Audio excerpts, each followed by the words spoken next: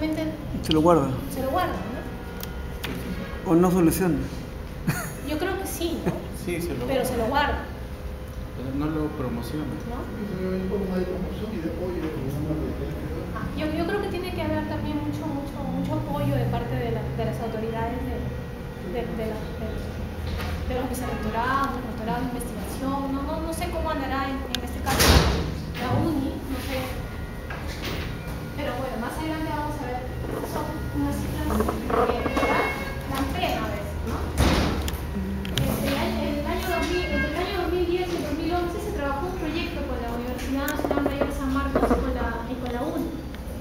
y se logró incrementar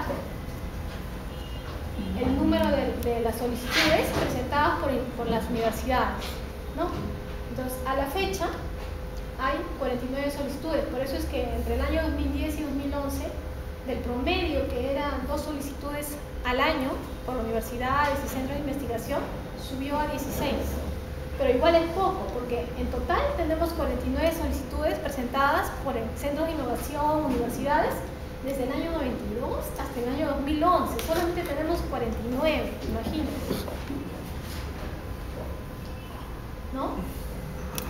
Entonces, el promedio hasta el 2010 ni siquiera llegábamos a 2, era 1.7 solicitudes presentadas por universidades. Y en 2011 se llegó a 16. ¿Pero por qué? Porque el Indecopi salió a buscar a las universidades, a decirles qué inventos tienen, por favor presenten. Entonces, en vista de que ese proyecto, ese proyecto dio resultado, se ha creado la subdirección de innovación, que en verdad eh, su, su objetivo principal es apoyar a los innovadores nacionales, específicamente a, a las universidades, a los centros de investigación. ¿no? Y eh, la, la- la idea es llevarlos de la mano desde para la presentación de su invento, la redacción, se les hace una búsqueda, todo, todo se les ayuda. Y el tiempo de trámite, lo más interesante es que se está reduciendo de 5 años, que es el promedio en la región, a 18 meses. Aquí hay un ranking de solicitudes presentadas por universidades solamente. Ya olvidémonos de los centros de investigación, solamente por universidades. La, la católica está en primer lugar con 22, segui- seguida de la UNI con 19, gracias a este proyecto que, que les comento. Pero igual es poco, ¿no? 19 es bien poquito para una universidad tan grande.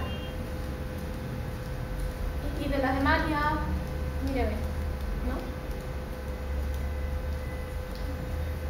Este es otro ranking que, hacen aquellos centros de investigación ya más grandes, que, nos sitúa a las universidades latinoamericanas por el número de publicaciones que hacen. La UNI está en el puesto 442 de universidades latinoamericanas. Se- bueno, le está ganando por, por bastante lejos la Católica y la San Marcos. A mí me da pena, Investigación. porque yo soy la única. En publicación. Solo, claro, acá nos mide por, por el número de publicaciones que hacen sus investigadores. ¿Sí? Sí. Muchas veces de que tiene, y creo que comparte el sentimiento, pero creo que la lógica tendría que llevarnos a un mayor análisis. Nosotros somos Sí, sí, una sí. universidad nacional de ingeniería. Nosotros no somos una institución que está ranqueada, por ejemplo, como la Cayetano, que es medicina y que hay una, un mayor interés por el gobierno en estas instituciones, ¿no? En la salud. Claro, Entonces, usted, en usted dice eso- por lo que es de ingeniería. de- Para terminar. Entonces yo pienso que habría que hacer otro rango, proponer otro rango. Una cosita más, si no se están haciendo patentes, yo no sé, no he estado todo el tiempo, discúlpeme, pero creo que también habría que ver el costo. Si usted libera los costos o busca un financiamiento, de repente van a, y hay una mayor distribución que yo desde ahora felicito, creo que vamos a tener mejores resultados. Nada más. Ya, sí. Bueno, estos rankings no lo hacemos nosotros, yo solo lo recojo de las revistas que a nosotros nos llegan. Pero es un poco para medirnos, ¿no? Yo creo que la Universidad de Sao Paulo creo que es también de ingeniería, ¿no? Que, que es una, ¿no? Pero creo que también esto se refiere al ranking de lo que ha sido publicación, de lo que dan a conocer las cosas que están Sí, haciendo. sí. No solamente que sean inventos, No, no, no, no, sino no. son cosas Sí. que dan a conocer Sí. de su laboratorio, de Exacto. su zona. Sí, eso sí. Ajá. Y eso sí debe la. Sí, su- supongo yo que es lo que sale publicado en pero así nos han rankeado. Es- eso está rankeado así. Mira, Por el nivel de inversión también que tienen ellos, pues, ¿no? Eso, Si estén 1.200 millones contra Claro. 2 millones, Claro. es obvio el resultado final, ¿no? Si invierte